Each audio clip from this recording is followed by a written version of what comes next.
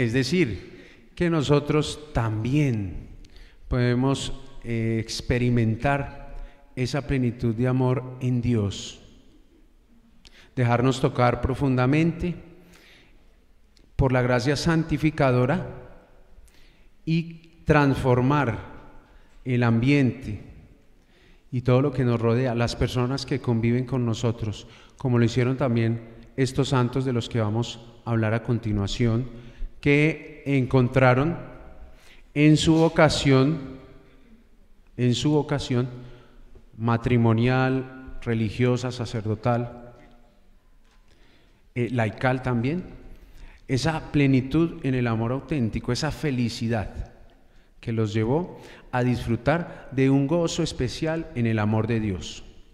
Lo primero que tenemos que tener en cuenta fueron personas de carne y hueso, como nosotros. Muchas veces cuando hablamos de la santidad, creemos imposible. Vemos a los santos como seres sobrenaturales. Hay que reconocer, algunos de ellos sí tuvieron algunas propiedades sobrenaturales que el Señor en su divina gracia les permitió tener. Algunos efectos espirituales únicos en ellos, como la bilocación, el poder estar en dos lugares distintos, eh, el don de la profecía, de poder eh, saber algunos eventos adelante en el tiempo, el destino de algunas situaciones o personas. Dones especiales como el de la sanación, eh, otros sobrenaturales como eh, los estigmas, la estigmatización, San Francisco de Asís, San Pío de Pietrelcina, pero aún así esa fogosidad de Dios en su materia humana les permitió llegar a esa transformación, a esa plenitud, a ese amor auténtico del que Dios nos invita para ser felices y para alcanzar la santidad.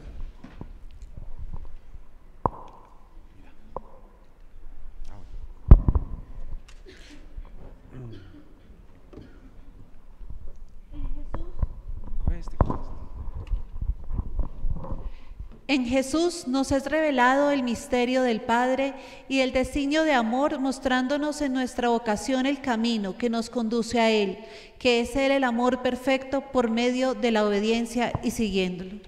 A veces vemos que el camino para seguir a Dios es muy difícil y muy complicado. Y resulta que es fácil, es solo obedecer.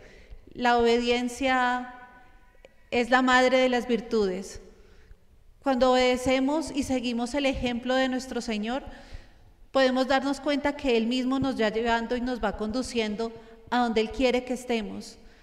Todos estamos llamados a la santidad y con un poco de esfuerzo, de paciencia, todos podemos llegar allá. Es solo querer y darnos el firme propósito, tener la fuerza de sacar adelante los designios de Dios. Vuelvo y digo, no es que sea fácil, es complicado, hay muchos obstáculos en el camino, eh, no todos nos entienden, eh, muy posiblemente somos juzgados, estamos locos, eh, somos fanáticos religiosos. En nuestro caso, no sé si todos lo saben, somos padres de nueve hijos. Y eso para muchas personas en la actualidad es un escándalo. Dejaron de ser los hijos una bendición para ser un problema y una carga. Pero aceptar a los hijos como la bendición del matrimonio, eso, eso ya es lo raro. Entonces nosotros ya somos raros. Entonces es tomar esa rareza de la actualidad y hacer la vida, por más complicado que sea. En mi caso, eh, me critican mucho, eh, soy para las personas un poco retrógrada, bruta, eh, bueno, de todo ya me han dicho, la verdad, no, ya no me escandaliza nada, ya, es como normal. Los médicos, cuando eh, uno sufre una violencia ginecobstétrica por, por querer eh, obedecerle a Dios, es, es complicado, pero no imposible. Y a veces lo que pasa es que nos dejamos llenar mucho de miedo. Jesucristo Es el primer modelo de santidad perfecta. Sus enseñanzas elevan nuestra alma a la máxima perfección cristiana. En, los evangelios y en los escritos eh, vemos esa perfección del amor de Dios. La imitación nuestra es la de Cristo. Lamentablemente en estos tiempos eh, muchos jóvenes se inclinan a seguir ídolos que realmente tienen unas limitaciones. Eh, deportistas, artistas, músicos, que siendo personas exitosas, realmente lo ejercen en su campo de acción, pero al final dejan ese sinsabor, porque son personas como nosotros, que sí, que hay que reconocer que tienen ciertas características especiales, pero pocas veces los jóvenes hoy día dicen, no, mi ejemplo, mi, vivir es Cristo. Ya se van transformando eh, esos pensamientos de antes en ídolos pequeños, limitados, que se van acabando. Y vamos dejando de lado la imagen de Cristo, esa imagen perfecta de amor, esa imagen perfecta de sabiduría que nos enseñaba en cada espacio, en cada momento de su vida, a vivir para glorificar a Dios. Eso es lo que tenemos que enseñarle a los jóvenes, vivir nuestra vida para glorificar a Dios. Ni siquiera para nosotros mismos, para Dios. Glorificarlo en nuestro día a día, como hijos, como padres, como madres, como esposos, como trabajadores, como evangelizadores. Porque muchas veces nuestra vida, nuestro testimonio de vida en Cristo, en Cristo, se convertirá en el pequeño evangelio de otros. Entonces la gente muchas veces dice, eh, en cualquier situación de la vida, y se escucha un mal comentario de un católico, ¿y qué es lo primero que dicen? Es católico. Miren esos católicos, allá están. ¿Cuánto va una buena palabra, una buena conducta en un momento de crisis para también orientar la vida de que en una situación difícil se encuentra? Que Cristo sea ese ejemplo permanente que sé que para nosotros aquí presentes lo es, lo es, digámoslo por aquellos jóvenes alejados ya de la fe, que se encuentran en otros caminos, a ellos hay que hacerles llegar que Cristo es el verdadero modelo por excelencia, es la santidad perfecta, es el Hijo de Dios.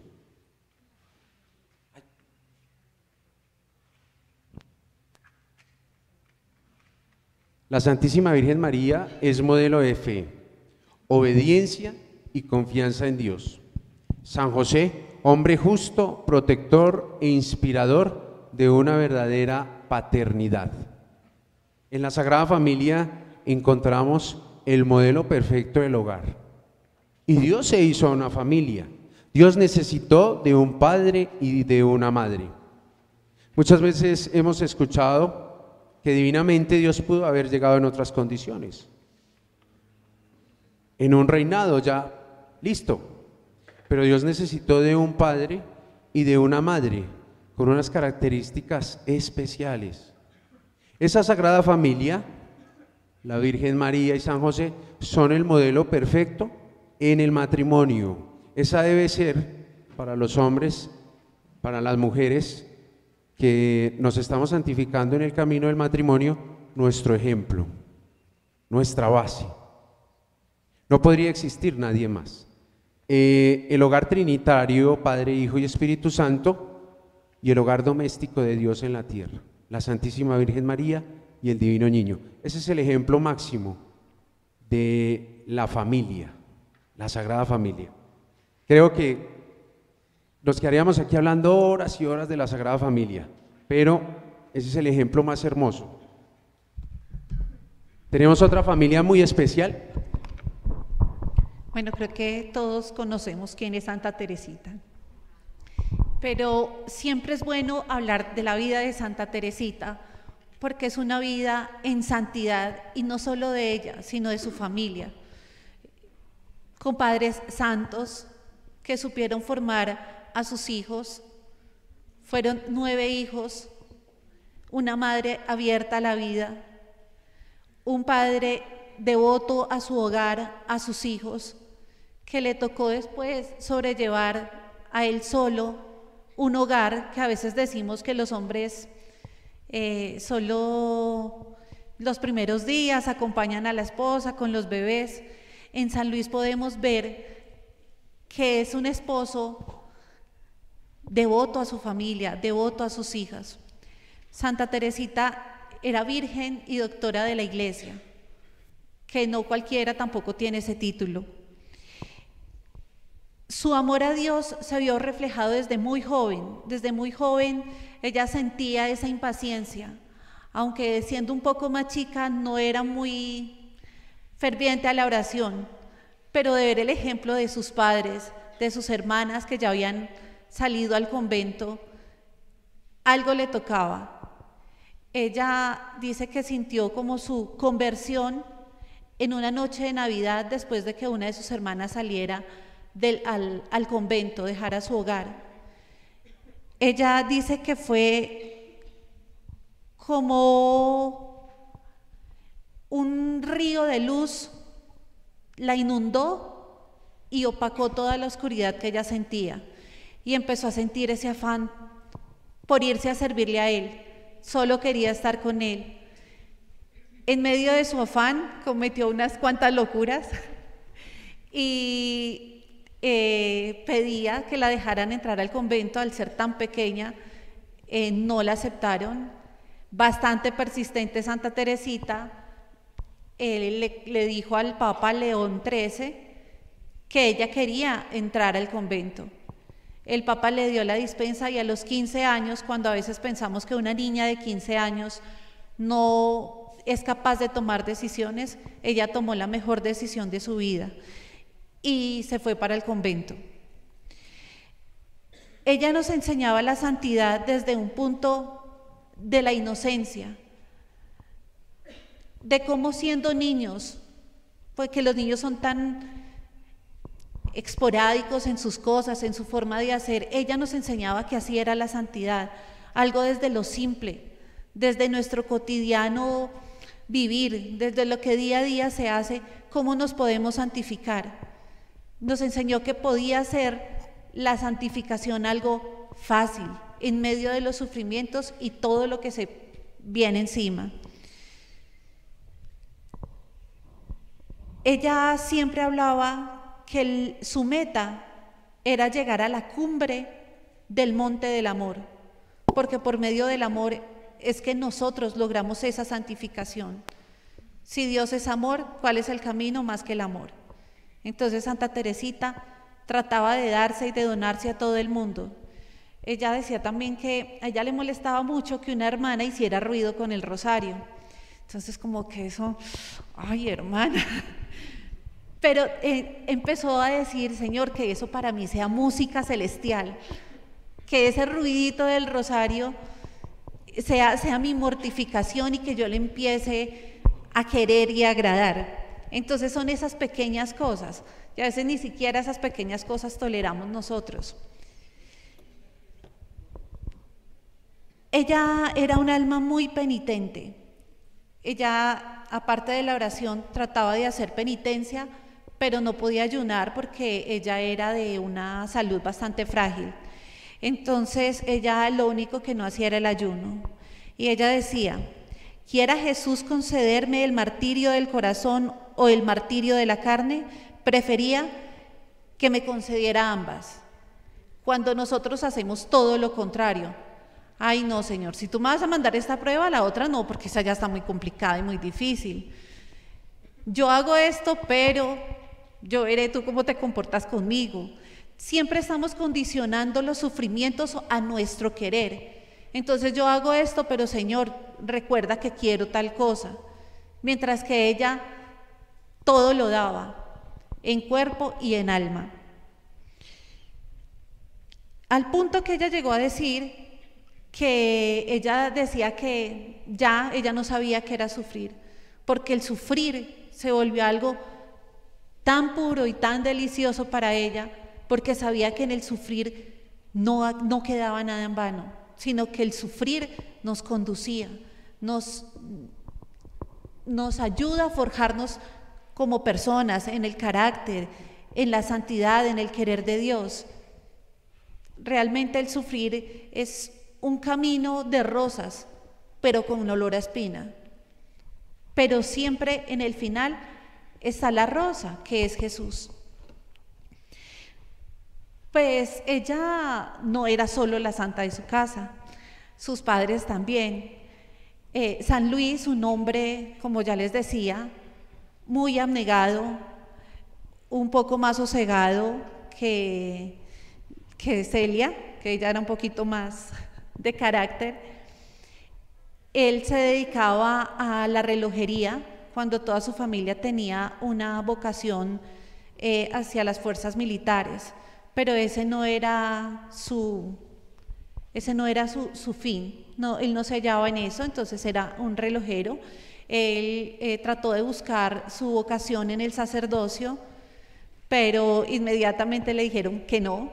De igual manera, eh, su esposa, Santa Celia, ella también buscó la vida religiosa y la, la madre prior le dijo que esa no era su vocación, que su vocación era otra.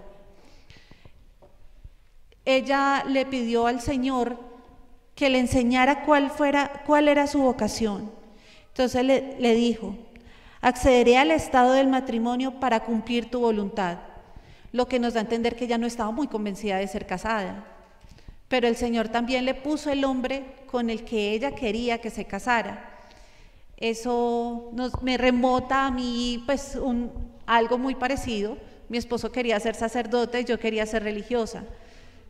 Pero el querer de Dios era bastante diferente. Es más, esta familia es muy querida, ellos tuvieron nueve hijos, nosotros vamos por nueve y solo Dios sabe si habrán más. Entonces, es, eh, entiendo lo que ella pensaba, yo a veces pensaba que mi felicidad iba a estar con las hermanas dominicas, mi esposo quería ser agustino, pero en el camino un fray nos dijo, no molesten más que ustedes se van a terminar casando. En ese momento yo decía, Fray se enloqueció. Agustino de corazón, Agustino de corazón. Y también algo muy bonito que ella le, le, pidió al Señor era, Señor, regálame muchos hijos, pero todos los consagraré para ti, que todos solo le sirvieran a Él. Y así fue, así fue. Sus, sus hijas, unas santas, una santa, las otras son beatas y los otros eran unos chiquitos que murieron muy pequeños. Pero recordemos que también está el, el, sufrimiento, el agradecerle a Dios que sus hijos nacieran y a muy corta edad murieran. Y ella también logró sobrepasar todo ese dolor.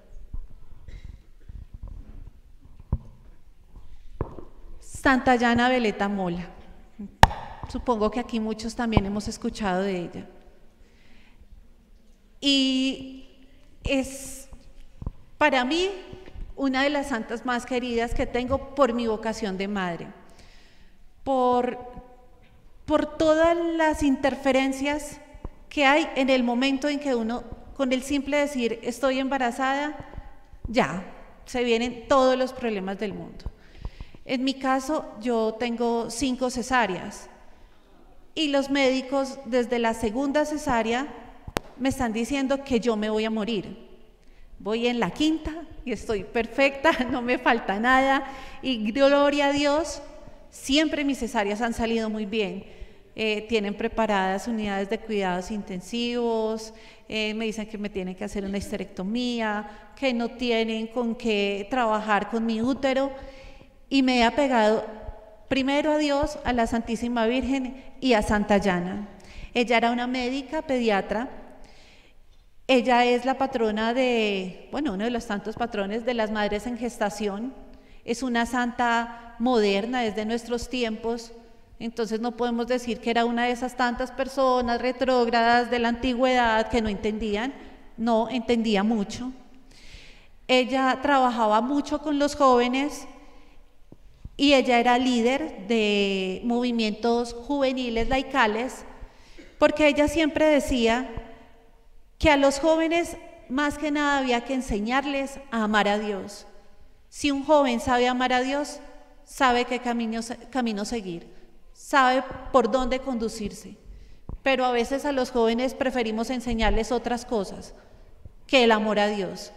Es más fácil enseñarles los métodos de planificación, es más fácil eh, exponerles una vida un poco más liberada y no el amar a Dios. Y ella se enfocaba mucho en sus movimientos con los jóvenes. Exhortó a vivir el cristianismo, porque no es lo mismo decir que somos cristianos, que somos católicos y que quedemos en Cristo, a vivirlo, porque es que eh, eh, está exactamente lo mismo que les vengo pues como repitiendo. Sí, claro, yo soy católica, pero ¿y estás a favor del aborto? Sí, claro, pues hay ocasiones en que si, si trae malformación, si es una violación, sí. Entonces ahí estoy viviendo mi cristianismo, no lo estoy viviendo. Entonces no es igual ser católico a vivir como católico. Ella como médico eh, decía, el médico no debe inmiscuirse. El derecho del niño a vivir es igual al derecho de la vida de la madre. El médico no puede decidir, sino que es pecado matar al niño en su vientre materno. Usualmente lo he visto, la paso todo el tiempo en salas de, de partos, de recuperación, gran tiempo de la vida se me va ahí y realmente le dicen eso a las mamás. ¿Quién escoge? ¿El bebé o usted? O es más, hay veces que no, simplemente no, hay que hacer un aborto. No solo en ese tipo de circunstancias. Cuando una mamá dice que está embarazada y que puede tener tantos problemas como supuestamente yo los tendría, con tantas cesáreas, la pregunta primera es, ¿su hijo es deseado? Si uno dice que no, inmediatamente le preguntan, ¿quiere hacerse un aborto? Entonces es, es lo irracional de las cosas. Si mi hijo es deseado, entonces no hablamos del aborto. Si digo que no es deseado, entonces inmediatamente nos podemos zafar rápido del inconveniente, del problema. Entonces, no, no, no vale tanto la vida del niño como el de la mamá. Las dos no son personas, los dos no son seres que sienten. Ella eh, también, en medio de todas sus diserciones, pues, en, en este mundo, ella no sabía si ser religiosa o ser una mujer casada ella peregrinó a la Virgen de Lourdes y le pidió a la Virgen que le mostrara cuál era su camino. Y oh sorpresa que lo primero que apareció fue su futuro esposo. Entonces a veces Dios nos habla bastante claro, pero nosotros nos hacemos los sordos. Ella murió a causa de una fibrosis que tenía. Ella siendo médico sabía que lo más fácil era realizarse un aborto terapéutico y así se lo dijeron. Y ella lo que le dijo a los médicos fue, primero, la vida de mi hija. No, no lo pongan nunca en duda. Ella sufrió bastante dolor después del nacimiento de la niña. Fue una niña, ella en este momento es una religiosa, eh, y sufrió demasiado dolor. Cuando le iban a aplicar los medicamentos, para apaciguarle el dolor, porque realmente sabían que iba a morir, ella desistió a recibir los medicamentos, porque para ella no había sufrido lo suficiente. Entonces ella decía que ella tenía que sufrir aún más, porque ella no podía aparecer ante la presencia de Dios sin tan poco sufrimiento. Y nosotros repelando el sufrimiento. Ella fue una esposa muy abnegada, se escribían muchas cartas con su esposo, eh, son cartas muy tiernas, son, son cartas muy hermosas que los hijos las han sacado a relucir en estos tiempos. Eh, como madre también se entregó totalmente y su hija le agradece siempre que la escogió a ella, que se donó por amor. Y en la medicina, eh, gracias a Dios, me he encontrado también con excelentes médicos que también me dicen que me encomiende a Santa Llana, y así lo hago.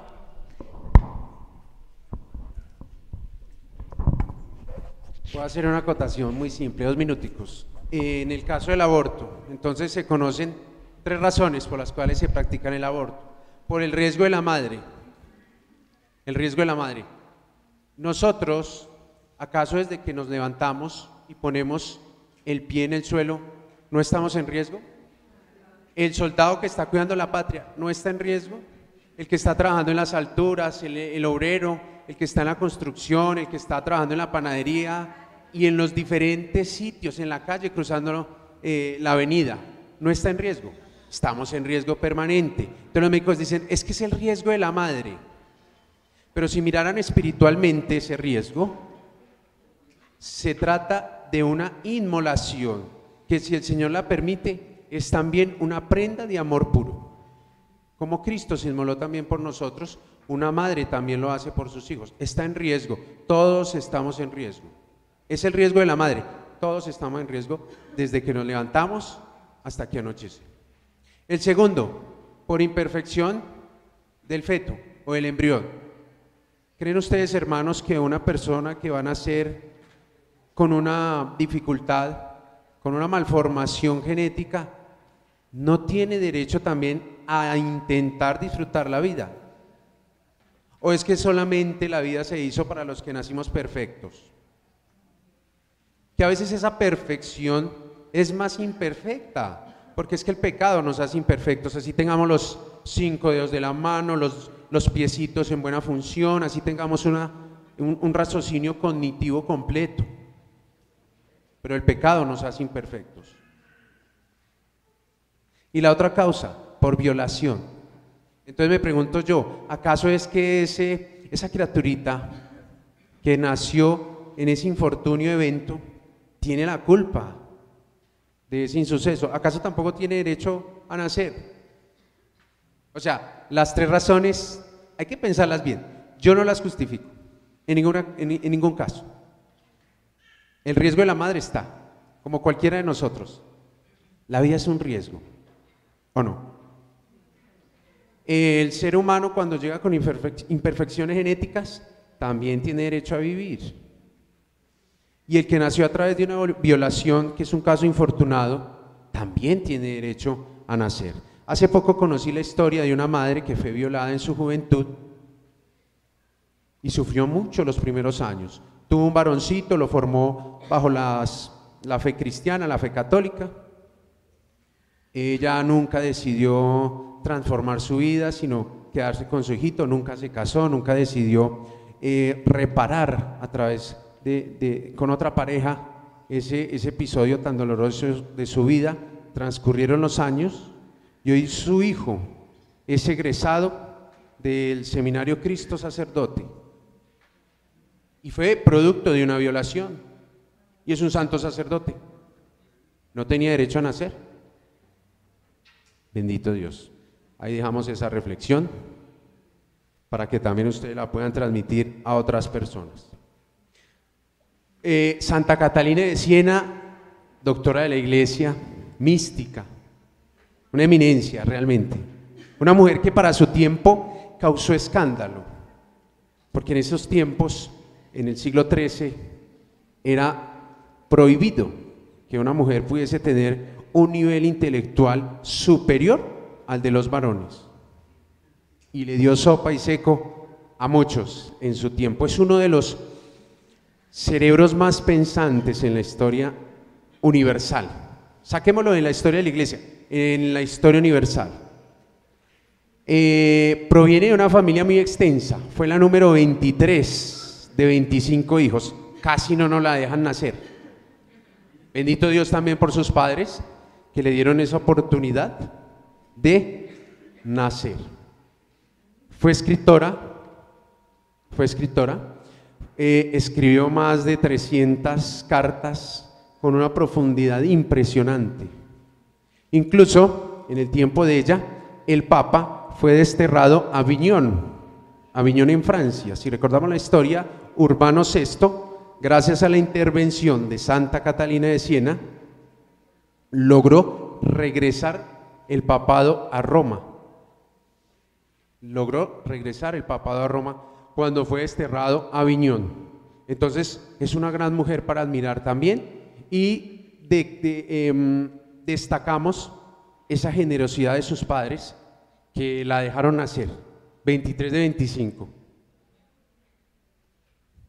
Santo Tomás Moro, político, abogado, defensor de la vida y del matrimonio, era un santo nacido en Inglaterra, eh, atacado, fue atacado fuertemente por Enrique VIII, que era el rey de la corona en ese entonces, por oponerse a su decisión de fundar su propia iglesia, que sí lo consiguió, que es una de, los, de las ramas del anglicanismo, a pesar de la oposición de Santo Tomás Moro, él fue recluido en una prisión para finalmente morir martirizado.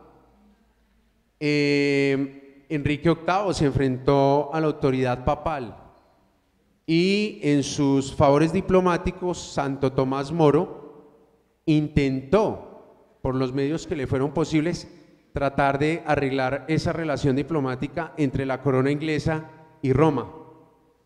Y al ver la situación que estaba viviendo Enrique VIII, de invalidar su matrimonio, que en inicio fue católico, Enrique decidió fundar su propia iglesia, que es el origen del anglicanismo. Y eh, es patrono de los políticos, de los abogados, de los diplomáticos, eh, es también eh, patrono de los periodistas, de los periodistas de buena crítica, de buena crítica. fue casado dos veces, él envió en una ocasión, incluso hizo una experiencia religiosa con los cartujos durante varios años, pero descubrió que definitivamente lo suyo, perdóneme, no, fue, no sé si fueron con religiosos franciscanos o eh, con cartujos.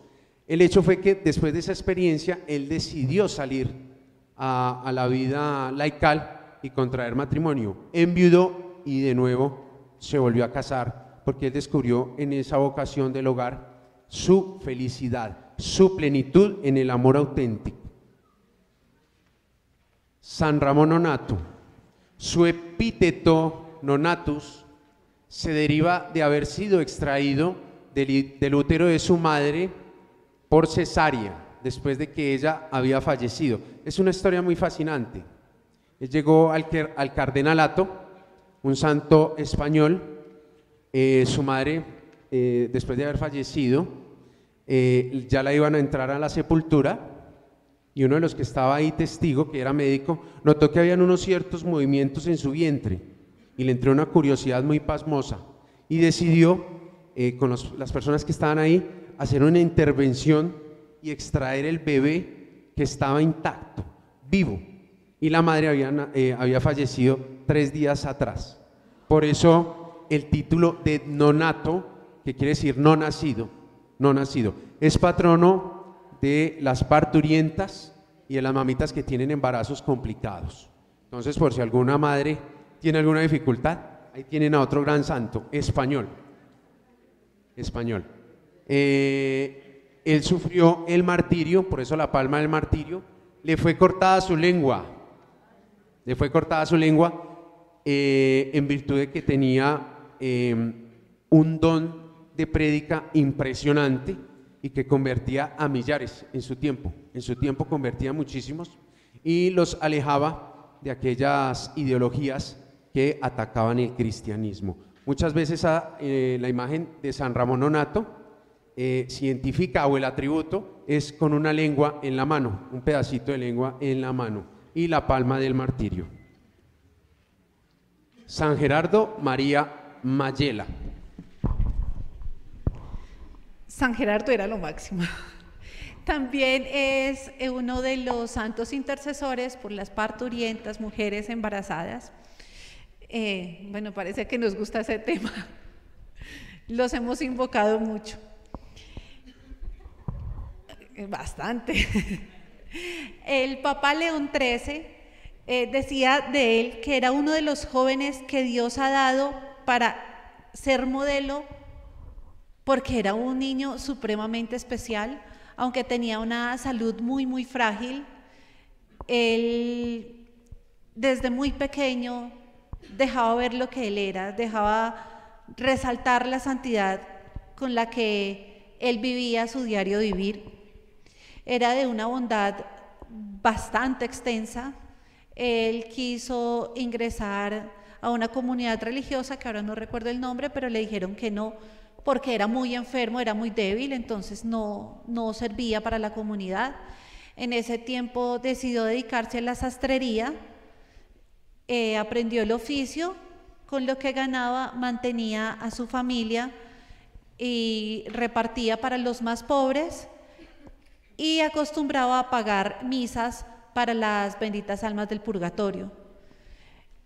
Eh, oraba con gran disciplina, como usualmente lo hacen los, los santos. Entró a los redentoristas como un hermano lego, porque eh, su salud era muy frágil y no servía pues para gran cosa. Eh, él insistió mucho porque tampoco lo querían recibir, al punto que cuando lo dejaron en la casa donde finalmente se quedó, le dijeron, ahí les dejo ese hermano inútil, porque pensaban que no iba a servir para mucho. Después eh, se tuvo que arrepentir de sus palabras el sacerdote que lo fue a dejar allá, porque en la comunidad desde lo más mínimo demostraba su gran carácter y su gran fortaleza de espíritu. A veces pueda que no nos ayude mucho el cuerpo, pero el espíritu es mucho más fuerte. El espíritu alienta al alma que siga adelante. Los hermanos le solían decir, o él es un loco o es un santo. A veces eh, nos dice a nosotros, usted está loca, usted está loco. Sí, el, el Señor a veces nos enloquece y no somos muy racionales. No pensamos con la cabeza, sino que nos mueve el corazón que es más importante. San Alfonso de Ligorio, quien era el fundador de los redentoristas, quien lo, le aminoró el tiempo de su noviciado porque realmente destacaba mucho su santidad. Entonces le acordó el tiempo, igual con sus problemas de salud era bastante complicado. Él decía, deja Señor que me vaya, te, ruego pues, tengo mucho que hacer. O sea, él sabía que le íbamos a poner molestias, que lo íbamos a invocar mucho y que desde el cielo iba a interceder más que de lo poco que podía hacer en la tierra. Convirtió a muchos pecadores, ya que poseía unos dones extraordinarios que el Señor le había dado entre ellos la bilocación, profecía, la ciencia infusa, el dominio de los animales. Eh, cada vez que él oraba, levitaba. Eh, él podía leer el pensamiento de las personas. Tenía el don de también leer las almas.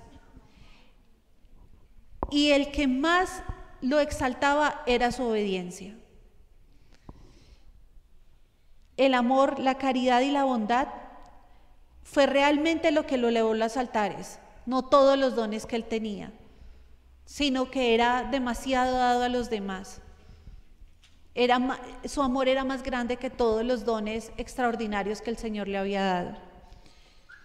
A él le prohibieron recibir la Santa Comunión por un tiempo. Eh, San Alfonso Ligorio se lo prohibió porque como siempre, este camino está lleno de espinas y una persona lo calumnió, una mujer lo calumnió de actos impropios con ella. Él nunca se defendió, él se quedó calladito, todos sus hermanos, eh, San Alfonso Ligorio lo conocía y sabía que no era cierto, pero aún así lo castigó dejando de recibir la comunión él todo se lo ofreció a Dios y después le preguntaban por qué él no se defendía. Y él contestó, yo no tengo que defenderme, Dios me defiende. Y así fue. Él predijo la hora y el día de su muerte. Él sabía cuándo iba a retornar a la casa del Padre. Ojalá nosotros tuviéramos, aunque sea una ceñita de cuándo para arrepentirnos. Por eso es que siempre debemos de tratar de, de vivir en gracia, de tratar de siempre estar en santidad, porque nosotros no conocemos ni el dónde, ni el cuándo, ni a qué hora. Entonces siempre es bueno mantenernos en gracia. No falta que el momento en que cometamos el error, ahí mande llamar nuestro Señor por nosotros.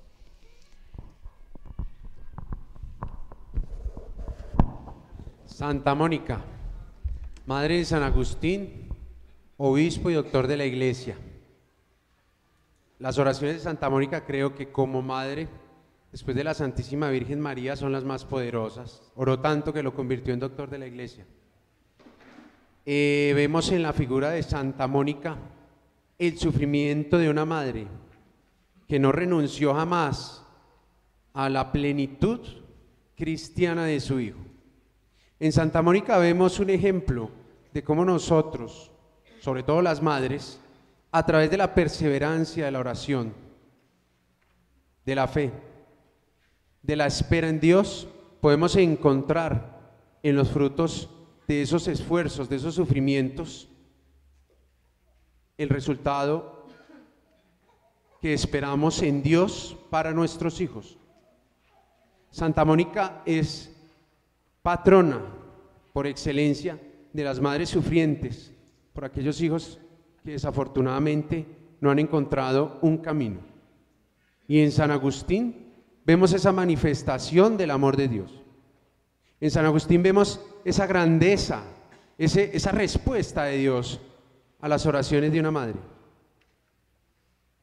No en vano San Agustín es uno de los cerebros más grandes en la teología de la historia de la iglesia. Si vemos la vida de San Agustín, nos podemos consolar un poquito, porque vamos a decir, bueno, yo también puedo ser santo. Incluso esa era, eh, una de sus frases. Si aquel y aquellos pudieron ser santos, yo por qué no puedo. Y en la figura de San Agustín vemos eso. En la sombra amorosa de su madre, que lo acompañaba se iba a recorrer largos kilómetros, largas distancias, siguiendo a San Agustín. Y en el silencio, él llevaba sus oraciones con tal fervor, con, tal ternura de madre, que el Señor no demoró en darle respuesta y en convertir a Agustín en uno de los grandes santos de la iglesia, padre de la iglesia, doctor de la iglesia, santo de la iglesia. San Agustín es el patrono de los que estamos todos los días luchando por la conversión luchando, luchando. Y si Él pudo, nosotros también. Con el favor de la gracia divina, lo conseguiremos.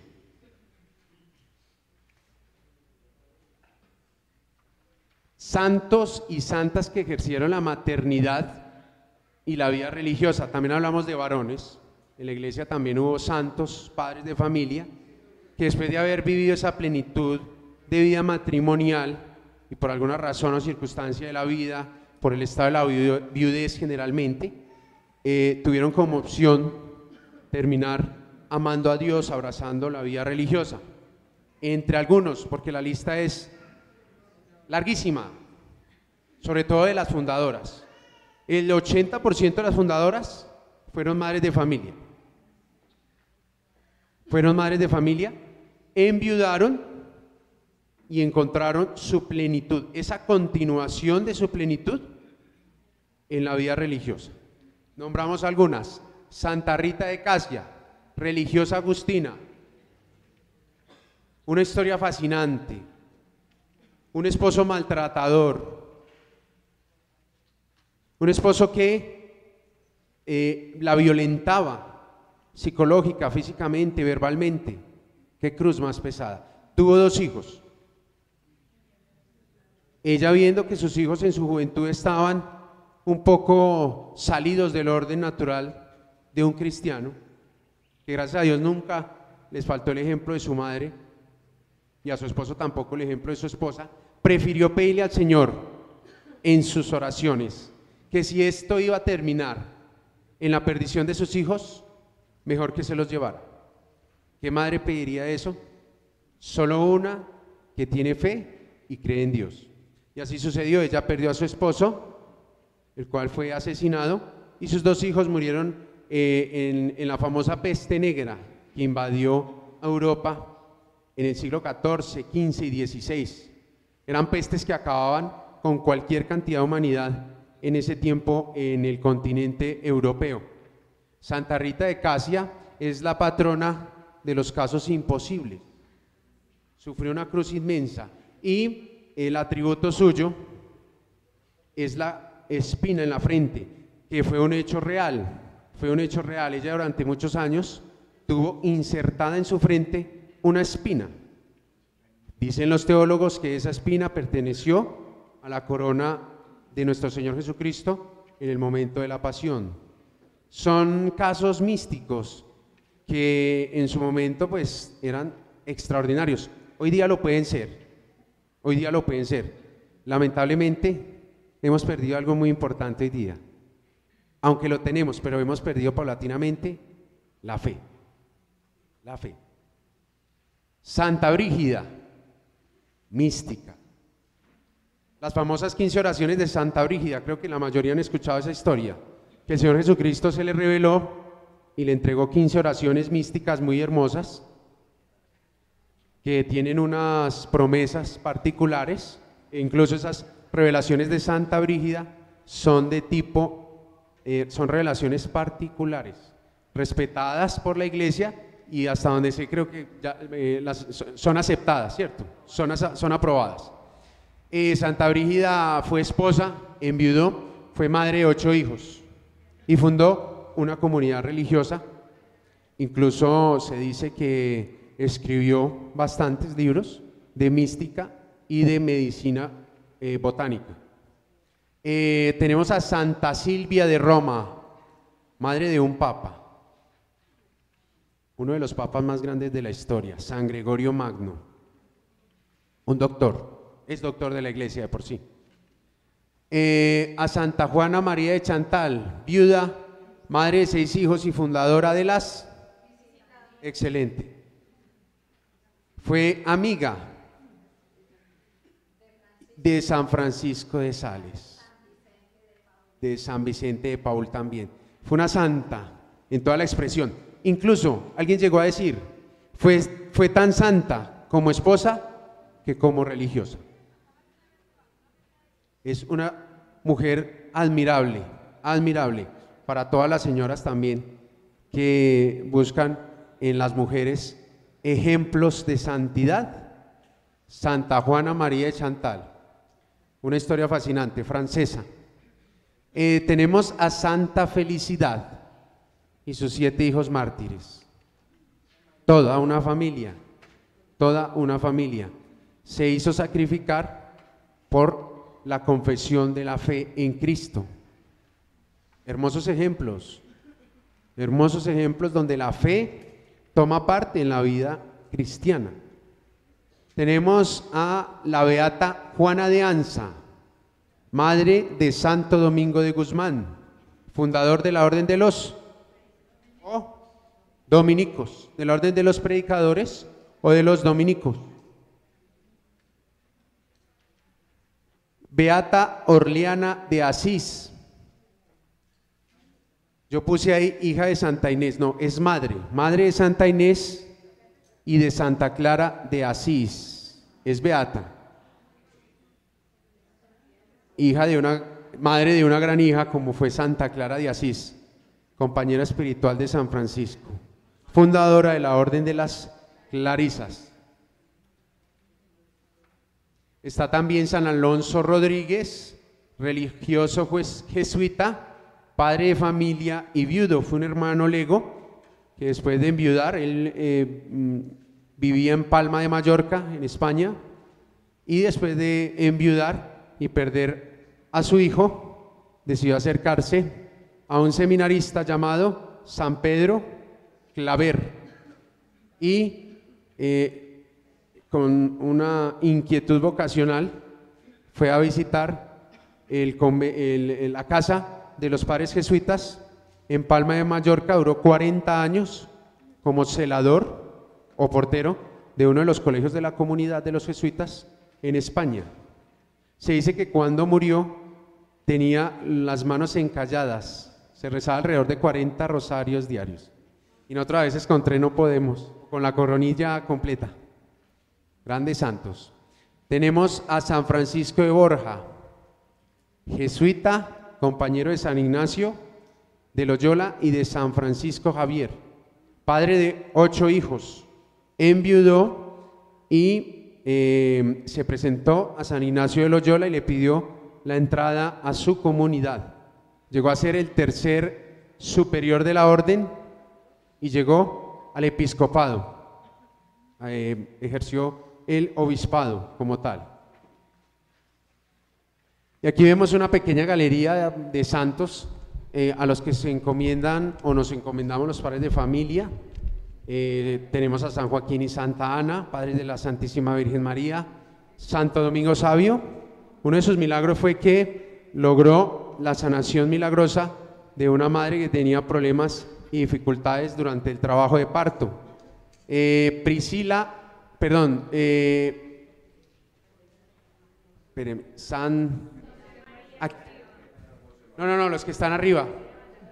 Eh, Aquiles y Priscila, que incluso de ellos habla San Pablo en una de sus cartas. Priscila y Aquiles, sí. Eh, está también eh, un matrimonio de beatos, los Beltrome Cuatrochi, padres de cuatro hijos, dos sacerdotes, una religiosa y una mujer casada. Santos modernos, santos como aspiramos a ser también nosotros. Y San José María Escriba Balaguer, Va a decir alguien, bueno, ¿qué tiene que ver con la familia? Muchísimo. Porque él, a través de la obra del Opus Dei, ha permitido, bajo ese apostolado, bajo esa prelatura, la santificación de muchos matrimonios. De muchos matrimonios. El Opus Dei lleva la bandera de los procesos de canonización de matrimonios.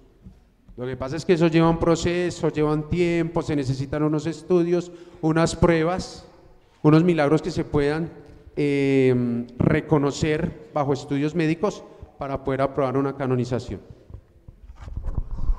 Bueno, la invitación es a que tenemos grandes ejemplos de grandes santos, eh, todos con las mismas capacidades que nosotros, podemos nosotros también tomarlos de ejemplo, sentirnos acompañados y saber que la santidad aún es posible. Eh, no es fácil, como todo, tiene sus momentos de sufrimiento, pero felicidad plena siempre, no, no solo cuando uno llega al cielo.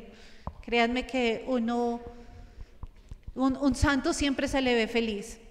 Entonces, todos estamos llamados Ayudémonos los unos a los otros a santificarnos eh, con nuestros esposos, nuestros hijos, nuestras vocaciones religiosas, sacerdotales, y, si se puede. Eh, la familia es la cuna de las vocaciones. Eh, nosotros queremos sacerdotes, pero no queremos hijos, entonces nos queda como complicado una cosa sin la otra. Y la formación empieza desde el hogar y desde la oración. Muchas gracias. Dios les bendiga.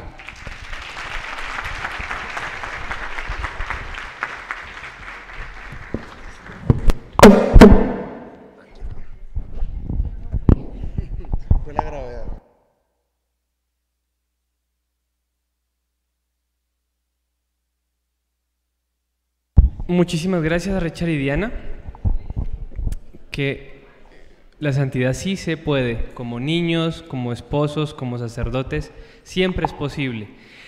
Entonces, eh, a partir de ahorita tienen 30 minutos hasta la una de la tarde. Señora.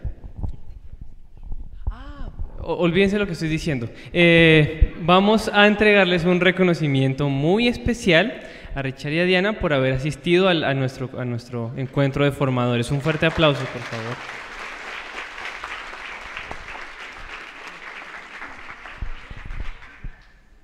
Ay, pobre. Ah, con los niños.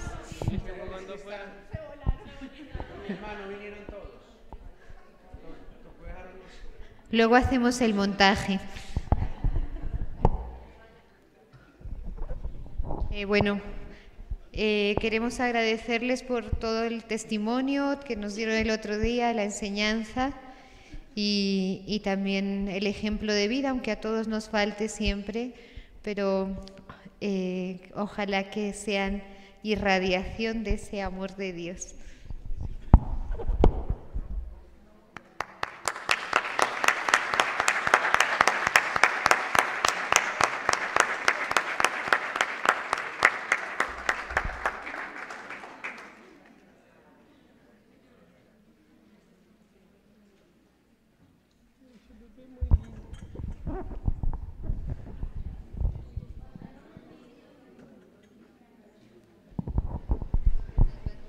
Bueno, ahora sí, a lo que venimos vamos.